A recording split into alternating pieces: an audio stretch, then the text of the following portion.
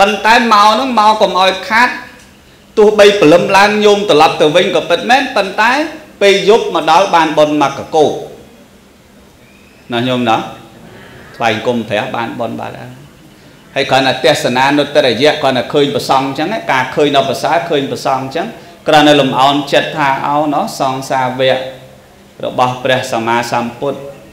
មិននឹកស្មានថាមកដល់ជាងពាក់កដាសាសនាទៅហើយ មានប្រសង់នៅត្រៀបត្រាម្លឹងម្លឹងចុះកាលសម័យពុទ្ធកាលឮតែ5000អង្គ2000អង្គតើយ៉ាងណាទៅឃើញទេញញោមចិត្តហ្នឹងវានឹកអាសម័យអាត្រង់ហ្នឹងឯងអាមកអស់លុយអស់កលាំងស្រាប់តែមកវាមានអាកម្លាំងបុណ្យនៅកន្លែងនេះកម្លាំងបុណ្យនៅកន្លែងហ្នឹងឯងហើយដល់ពេលមួយថ្ងៃនេះគាត់មកដល់កើតទៅជាបុណ្យបុណ្យរហូតដល់ចប់អេវ៉ាំងសម្រាប់នៅតែបុណ្យរហូតដល់អេវ៉ាំង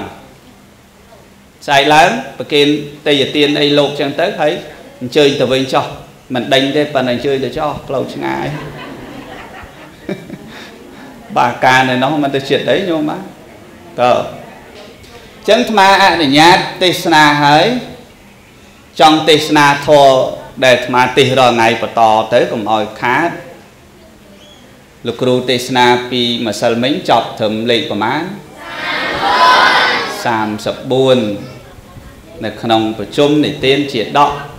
អញ្ចឹងឥឡូវត្រូវបន្ត35 34រឿងអីនន្តិយៈនន្តិនឹងគាត់ជាអីជាយៈហើយយៈនឹងគាត់ចាប់នរណាគេចាប់ស្ដាច់ហើយស្ដាច់នឹងដោះសារថាម៉េចបានរួចខ្លួន យៈអើយយៈប្រឡែងយើងទៅយៈចាំយើងទៅរកអ្នកប្រាជ្ញឲ្យចេះពោលធរអីម្លាក់ធរឲ្យស្ដាប់ណាយៈយៈក៏ប្រឡែងស្ដាច់ទៅអញ្ចឹងមែនណាហ្នឹងហើយចិត្តដល់ពេលនរណាអ្នកណាដែលមានបញ្ញាអាចចេះម្លាក់ធរព្រះបរមមេ ពោធិសត្វលោកពនាមអីព្រះបរមពោធិសត្វពនាមអី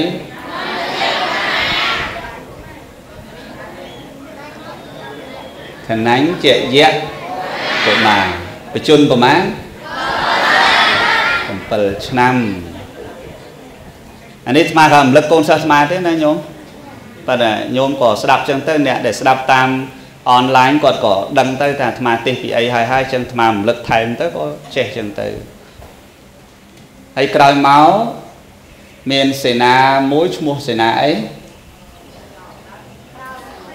អុយជាកៈសេនាអាគាត់នឹងល្អអាក្រក់គាត់នឹងអាក្រក់ហើយក៏ចាត់ចែងឲ្យព្រះរាជាធ្វើពិធីអី ប៉ុណ្ណាំងសេះហើយអ្នកដែលចូលរួមប៉ុណ្ណាំងមានប្រមាណអ្នក4ទាំងព្រះពោធិសត្វមែនទេសេះទាំង3 3ហ្នឹងសេះលឿនទេលឿនចុះព្រះពោធិសត្វមានសេះប៉ុណ្ណាំងទេអត់មានទេ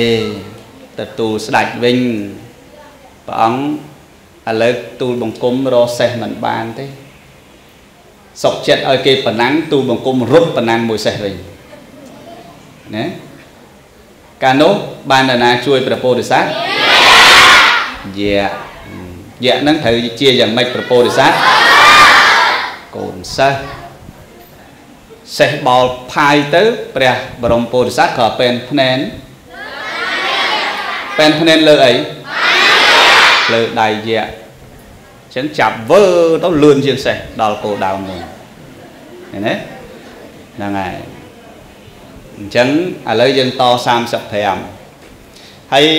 រឿងញោមញោមគាត់មកស្ដាប់មួយថ្ងៃមួយថ្ងៃមួយថ្ងៃអាហ្នឹងយើងមានមួយរឿងមួយរឿងឲ្យគាត់ទេប៉ុន្តែអ្នកស្ដាប់តាមអនឡាញអ្នកស្ដាប់តាមដោយព្រះអង្គរាល់ថ្ងៃអញ្ចឹងដោយលោកគ្រូធ្លាប់ប្រកេនអញ្ចឹងតែព្យាយាមទៅទេសនាបានទាំងអស់គ្រប់រឿង ខ្លាចតែមិនព្យាយាមអញ្ចឹងឥឡូវចូលរឿងទី35ញោមកុំមកងុយសម្រាប់អីបើកភ្នែកឲ្យធំធំមកឃើញលោកប៉ាឡោហ៎មុនីបាឡោណាពីមុនទៅបាកានហ្នឹងគេស្គាល់អញ្ចឹងឬគេហៅមួយទៀតគេហៅលោកប៉ែឡោអ្នកស្រុកបាកានអាឡូលោកតាប៉ែឡោហើយនឹងអ្នកស្រុកបាកានគេហៅអាត្មាអញ្ចឹង អ្នកស្រុកក្រកអញ្ចឹងដែរអាត្មាធ្លាប់ទៅទេសនៅកកគាត់ថាអឺឆ្ងល់ដូចគុណមិនក៏បានជាដាក់ឈ្មោះដូចគុណអាក្រក់ម្ល៉េះស្មានតម៉ែអាត្មាអ្នកដាក់អូកាលហ្នឹងគាត់មានថាប៉ែឡោគេថាលោកប៉ៅឡែមិនបានដាក់ដាក់ឈ្មោះអីអាក្រក់ម៉េះដាក់លោកប៉ៅឡែអាត្មាថាមែនទេម៉ែអាត្មាដាក់ឈ្មោះព្រោះណា ឈ្មោះកកដានោះតែនាមបញ្ញត្តិរបស់ព្រះឧបជាលោកដាក់ឲ្យថាមុនិបាឡោតើយាយយាយគាត់ស្ដាប់រាល់ថ្ងៃគាត់មិនដឹងថាមុនិបាឡោបើអានវាមិនត្រូវទៅជាវាស្រួលចាំទៅជាលោកប៉ៅឡែតទៅស្រួលចាំកាលហ្នឹងទេសនានៅវិទ្យុអាស៊ីអាគ្នេយ៍ហើយវិទ្យុអាស៊ីអាគ្នេយ៍មានសាខាគេលើពេញប្រទេសកាលហ្នឹងហើយមិនសូវមានសម្បូរវិទ្យុដូចឥឡូវ ចឹងទៅលឺអគ្រប់កន្លែងហ្នឹងអ្នកស្រុកក្រកគាត់ថាមុនលោកប៉ៅឡែមកទេសទៀតអើអ្នកស្រុកក្រកដួងខែរនោចហ៎ហ្នឹងហើយអញ្ចឹងរឿងលើកនេះបន្តគឺរឿងទី35ដែលមានចំណងជើងថាសាវត្ថីធីតាណាធីតាធីតាប្រែថាម៉េច មិនមែនបុតទេហ្នឹងហើយធីតាប្រែថាកូនស្រីបុតបុតប្រែថាកូនប្រុសបុត្រាហើយនឹងបុត្រីបើបុត្រាប្រុសហើយស្រីបុត្រីស្រីហើយប្រុសស្រីឧបាសិកាប្រុសហើយស្រីចុះឧបាសកប្រុសអញ្ចឹងសាវត្ថីធីតា រឿងរ៉ាវនេះគឺនៅក្នុងប្រជុំនិទានជាតិដកនឹងលោកបណ្ឌិតសុងស៊ីវគាត់ដាក់វងកញ្ចក់គាត់ថាគុណនៃការគោរពបំរើស្វាមីរបស់ខ្លួននិយាយពីការបំរើប្តីសោះបានបុណ្យដែរយើងបំរើប្តីសោះបានបុណ្យដែរហើយញោមចាំស្ដាប់រឿងហ្នឹងមើលអ្នកដែលមានប្តីទាំងឡាយអ្នកដែលមានប្រពន្ធទាំងឡាយ ហើយយើងអត់ប្រពន្ធក៏ត្រូវស្ដាប់គេដែរតែរឿងហ្នឹងវាយ៉ាងម៉េចណា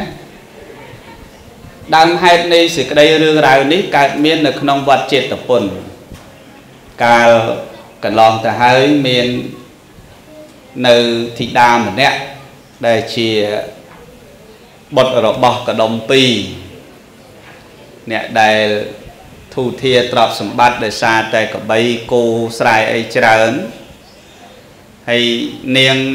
សាវត្ថីហ្នឹងបានគេដាក់ឈ្មោះថាសាវត្ថីកូន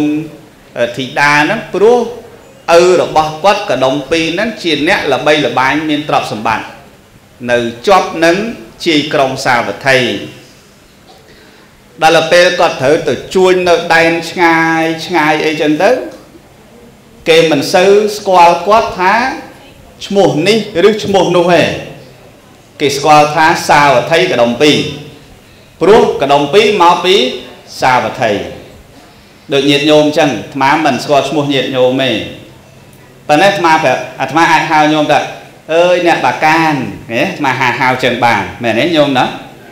ឬក៏អញ្ចឹងយើងមិនបាច់ហៅអ្នកបាកានអ្នកពោសាត់ឃើញទេមកអំពីអីមកអំពីញោមមកពីតំបន់ហ្នឹងកដុំពី